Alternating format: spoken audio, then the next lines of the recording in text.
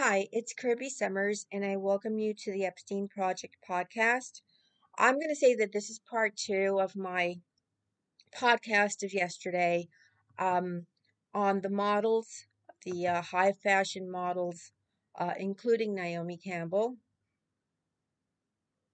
their connection to the Tommaso Buti um, fraud their connection and and really it it was a was sort of like a fraud you know these models were said to be opening this restaurant and that they were the owners uh, but in reality they were just they were not the owners. They were a false front for Tommaso Buti and his brother it was called the Fashion Cafe.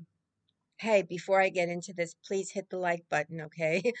Um, it was called the Fashion the Fashion Cafe, and um, it was really just a, a fraud. Um, it they kind of uh, closed their doors pretty quickly, but they first, um, you know, opened up like one in London, I believe another one in Chicago.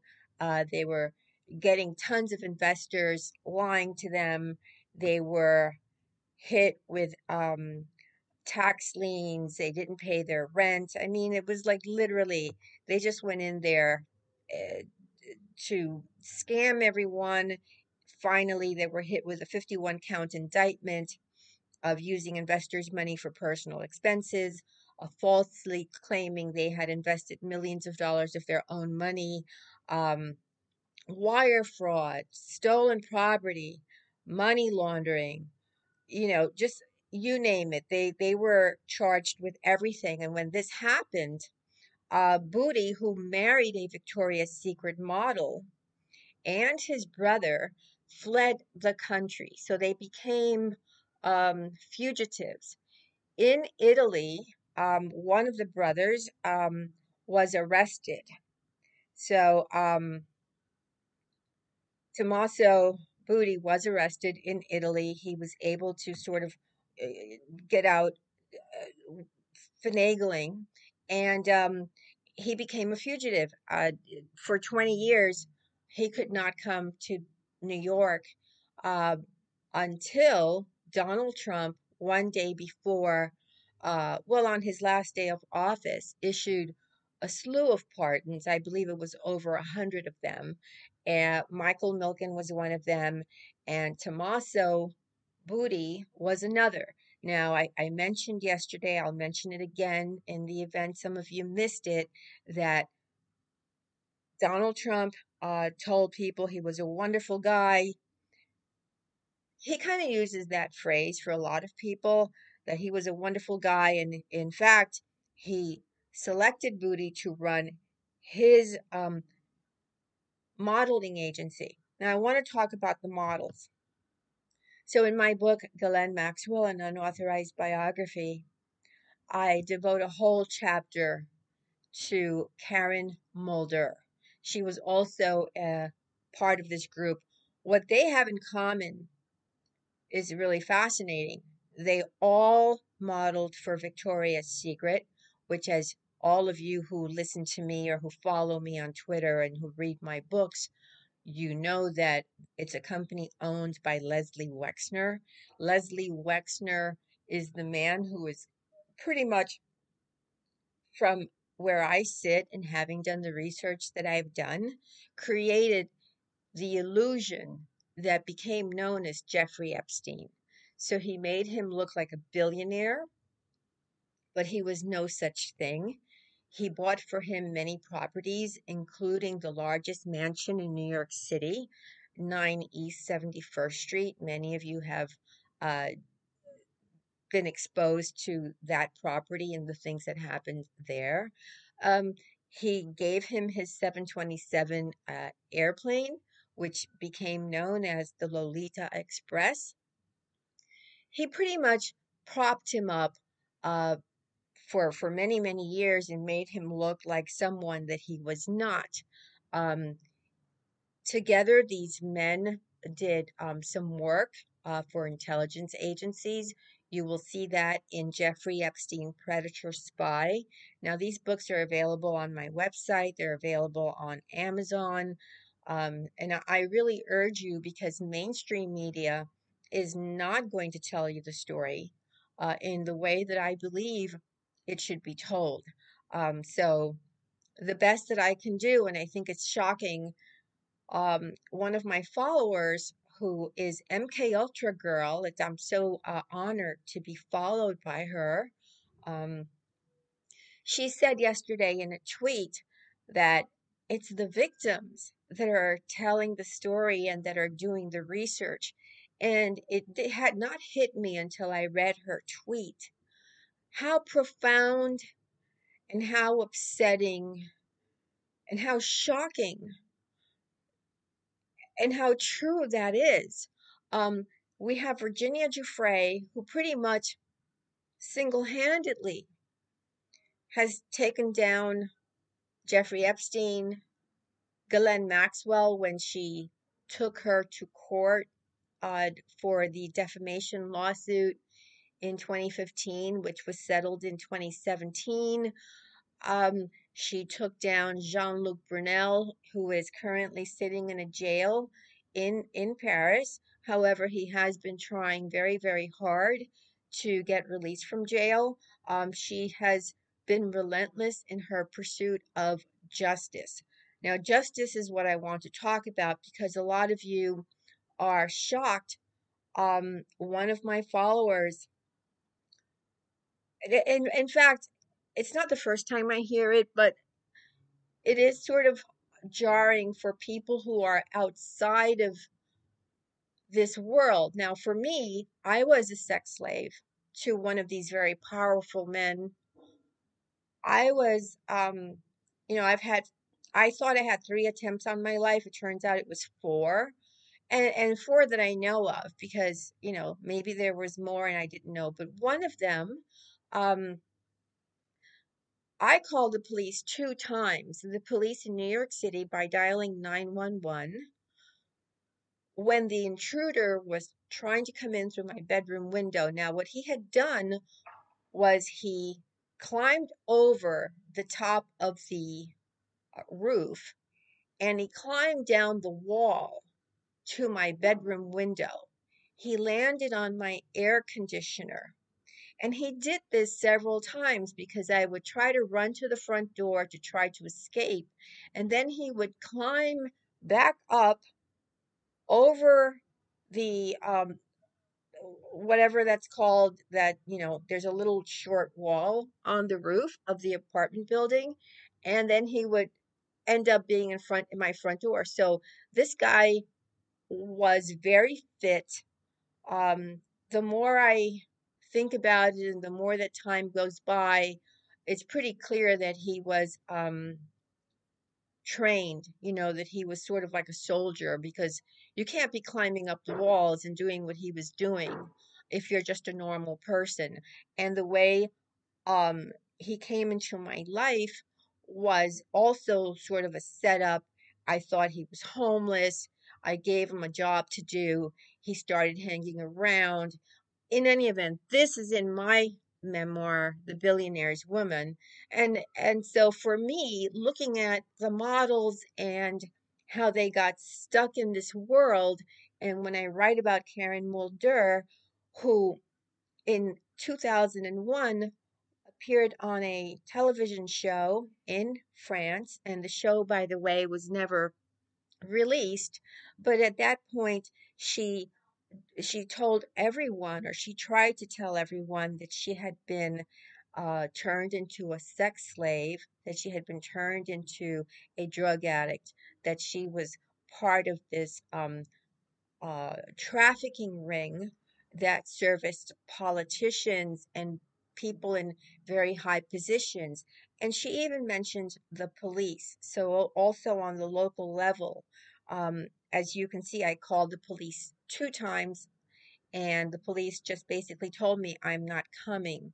Uh, so to get back to Karen Mulder, um, she basically said on the same uh, television show that she was forced to go out with Prince Albert of Monaco. So at the time, uh, everyone made her look crazy. Everyone, meaning mainstream media, her uh, fashion bosses, and all of that. And that's the way it's always been. I mean, if if you out one of these predators who are connected to an intelligence agency, such as my predator, such as Jeffrey Epstein, and in um, the case of Karen Mulder, the fashion industry, which is an uh, which is literally an arm of the intelligence agency. There is no way around it. I mean, they have been providing women uh, via catalogs in a very discreet way. Um, I will be talking about this a lot deeper in a separate uh, podcast, but for now, I just want to say that um, there was no, who, who do you who do you call? So you try to tell someone like Karen did in 2001. She was labeled crazy. She goes home after the show. The the producers of the television show say, "Hey, we can't have this information uh, leave the studio. We can't have this information out. Period." So they destroy the tape they make sure that everybody that was in the audience that nobody caught anything and then they let them go home. She goes home and what happens? There's a knock on her door. It's her sister and she is put against her will into a mental hospital for five months where she is drugged and kept drugged for five months. Um so again who do you go to there's nowhere to turn if you have heard Maria Farmer talk about her experience being on Leslie Wexner's property in Ohio when Jeffrey Epstein and Ghislaine Maxwell attempted to rape her and and thank goodness they didn't but they touched her inappropriately and she was able to propel herself off the bed and go lock herself up in the bedroom and start calling everybody she knew in the phone book. But she also called the sheriff's office and they told her, We're not going to come and help you.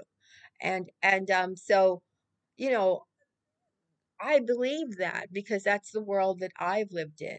And whenever I've tried to go to an attorney, eh, there's literally been no one who can help. Okay. This is the first time in history that normal people like yourselves and other people who have been in my position and or in the model's position and or in the position of the victims of Jeffrey Epstein um, and even the victims of Harvey Weinstein or victim of a very powerful person, whether you have been a child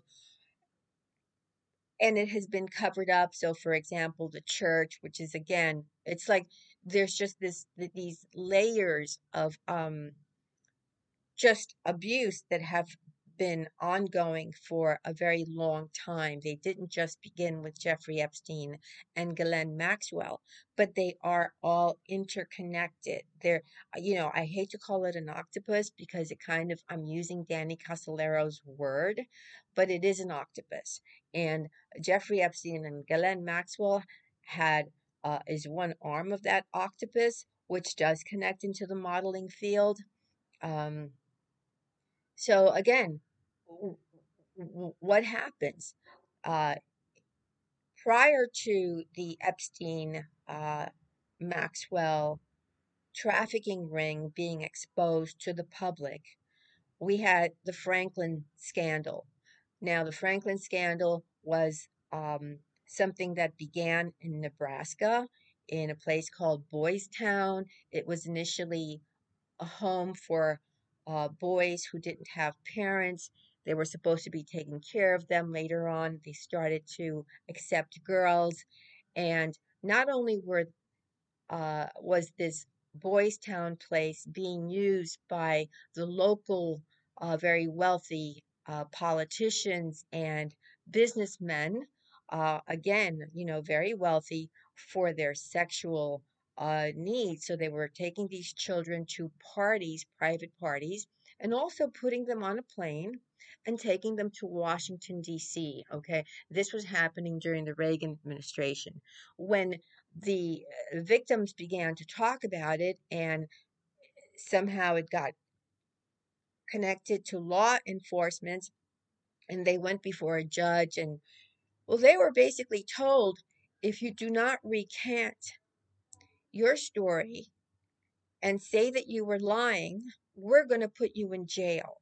So that is how bad it was. And if you go to Wikipedia and you look for the Franklin scandal, what will you see? And by the way, Wikipedia is the largest psyop anywhere because it is um, handled by intelligence agencies. There was a time when I had a Wikipedia page, and that is gone. Uh, there was a reason I had a Wikipedia page because I was I did a lot of work for Hurricane Katrina for three years, and all of that has disappeared. Um, and I'm not going to get into that right now, but if you go to Wikipedia, Franklin scandal, you will see that it says, "Oh, this was a lie. This was an intentional lie. In fact, I'm going to try to find that page and I'm going to see if I can read to you what it says about the Franklin scandal on Wikipedia. Just give me one second.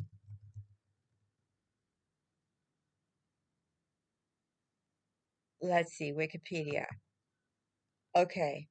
It says the Franklin child prostitution ring allegations began in June 1988 in Omaha, Nebraska, and attracted significant public and political interest until late 1990, when separate state and federal grand juries concluded that the allegations were unfounded and that the ring was a carefully crafted hoax. Well, one of those uh, victims, Alicia Owens, was put in jail. She spent, I believe, two years in solitary confinement and then continued to stay in jail. Um, so, this is the first time in history that we are seeing the tip of the iceberg of this problem, this intelligence agency connected um, trafficking ring that includes minors of both sexes, and that has not even been discussed by mainstream media as it pertains to the Jeffrey Epstein Ghislaine Maxwell case, and adults, and it there's an arm where, where you know the models are. So the models are caught between a, a rock and a hard place, aren't they? Right? Because here they have been in many cases just like with some of Epstein's victims. And also, it happened in the Franklin scandal and in other uh, trafficking cases where drugs are introduced. They, and initially, they're introduced so that they could um, take advantage of the children and or the models um, and then of course they the, they become hooked on drugs, which makes it easier for the people that are abusing them to keep them under their thumb. Everyone is expendable. Everyone is expendable. So, and there's no help. So the police are paid off. In my case, the police were paid off many times, many times. In fact, my abuser had the entire police department sort of almost on call to follow me wherever I went, um, to tell him where I was so that he can show up and sort of be there. And I suspect that his friend Leon Black um, is doing the same thing or had done the same thing with um, Guzel Ganeva. Um, so it is frustrating how do we get justice? How do we get justice? I mean, so tomorrow uh, is October 29th. What happens tomorrow? Prince Andrew finally answers the lawsuit that Virginia Giuffre has brought against him. She brought a lawsuit against him because she was in New York City 17 years old. And in New York City, she was a minor. She was a trafficked minor. And according to uh, the court documents and her allegations, because of uh, Jeffrey Epstein and Ghislaine Maxwell, you know, he had his way with her. So she is suing and uh, he's going to answer tomorrow. What do we know about what's happening tomorrow? We know that he is going to use Jeffrey Epstein's uh, agreement with Virginia to settle the lawsuit she brought against him years ago in 2009, where he paid her a certain amount of money, but basically said, okay, I'm paying you this amount of money, but you can't come after me again, and you can't come after my friends, my employees, or my business associates. So, what is Prince Andrew going to do tomorrow? His attorneys tomorrow are going to present that because they have gotten from the court the permission to view the document, which was filed under seal. Now, what's interesting to me about um, the under seal thing is that Prince Andrew has told the court through his attorneys that they should keep Jeffrey Epstein's uh, agreement with Virginia Giuffre under seal. That that's interesting to me, and I'll tell you why. Um, when someone dies, as is we all have been told that Jeffrey Epstein committed suicide on um, August the 10th of 2019, just a few weeks, a, a month and a half after his arrest, well, you kind of lose your rights. Uh, in fact, the lawsuit that was not the lawsuit, but the action of the United States government against Jeffrey Epstein ended uh, when he died, as did you know any kind of um, any kind of recourse for all of his victims. Um, all of his victims were basically told, well, you know, sorry, there's nothing we can do. He's dead. Go home. Sorry. You know, they let them show up in court one day and basically say something, and a few of them did. But um, the fact that Prince Andrew wants the document to remain under seal is interesting and i want i want to say you know let, let's pin that let's let's mark that because um who is he trying to protect? If he's not protecting jeffrey epstein he's protecting someone else. So who is he protecting? He's protecting perhaps someone above jeffrey epstein. And i've already said that leslie wexner was above jeffrey epstein. Well who's above leslie wexner? In my opinion it is the state of israel and the cia so anyway, I don't want to get too um, far into this topic. I think I covered the fact that the models have also been victims, have been sort of kept in this trap, have probably uh, had to marry people they didn't want to marry, in all likelihood, have also had to um, be intimate with people they did not want to be intimate with, have basically been part of the same octopus that uh, connects the Jeffrey Epstein and Ghislaine Maxwell ring, and that goes back and connects to Franklin scandal, and that connects to other uh, rings, like if you remember the Finders, um, which was closed after five days by the CIA and nobody ever heard about it again. It was considered, oh, this is an internal investigation. So please leave your questions below, like the video, subscribe. It's Kirby Sommers for the Epstein Project podcast. Until next time, bye.